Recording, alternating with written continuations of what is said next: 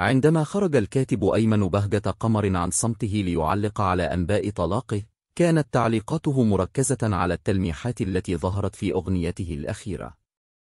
في منشور عبر حسابه الرسمي على فيسبوك قال بهجة قمر فيه خبر نازل فيه تلميحات بسبب أغنية معرف شحد بالاسم ده. وأكد أنه يتمنى عدم ربط حياته الشخصية بالأغاني التي يكتبها مشيرا إلى أن هذا الموضوع يثير انزعاجه من الأقارب والغرباء.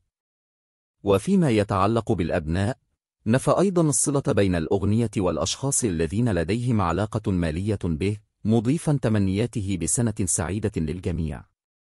وفي سياق متصل تحدث أيمن بهجة قمر سابقا عن الخلافات بين النجوم عبر وسائل التواصل الاجتماعي معبرا عن عدم انخراطه في تلك الخلافات العلنية.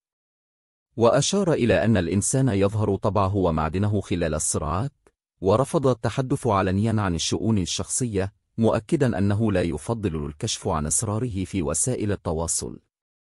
على صعيد آخر استعرض بهجة قمر الأحداث في قطاع غزة معتبرا أن العدوان الإسرائيلي أقوى دراما من أي عمل فني.